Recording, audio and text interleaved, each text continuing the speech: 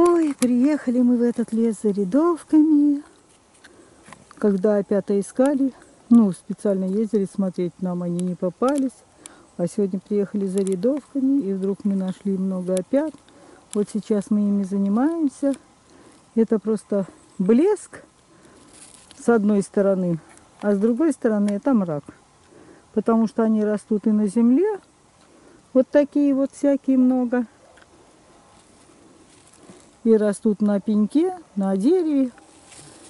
Вот возле этого дерева тоже растут. Их здесь полным-полно. Это ж кошмар. С той стороны я уже срезала. Что делать? Придется их брать. Вот они очень красивые. Они все чистенькие-чистенькие, молоденькие. Не песчаные, не червивые. И есть еще и поменьше. Малютки совсем. Вот такие вот. Добрые ребята опята. Вот такусенькие. Их на земле очень много. Короче, рядовок нам сегодня не видать. Придется здесь потрудиться. А я еще хочу показать еще одни грибы.